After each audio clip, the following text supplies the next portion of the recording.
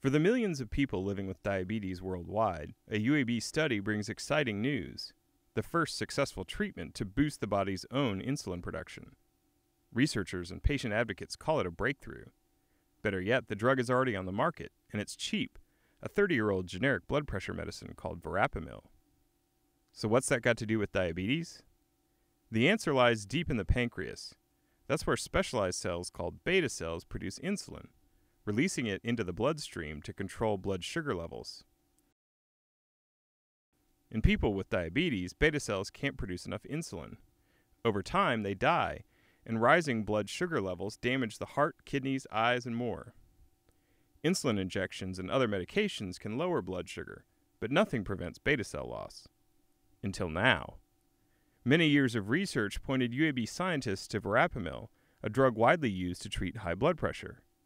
In their lab tests, verapamil protected beta cells. But would it work in humans? The answer, according to the new UAB study, is yes. Adults with newly diagnosed type 1 diabetes were given verapamil tablets in addition to their regular insulin injections. The result was they produced more of their own insulin, limiting their need for injected insulin.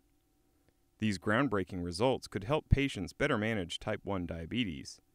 Meanwhile, UAB researchers continue their work toward truly disease modifying diabetes therapies.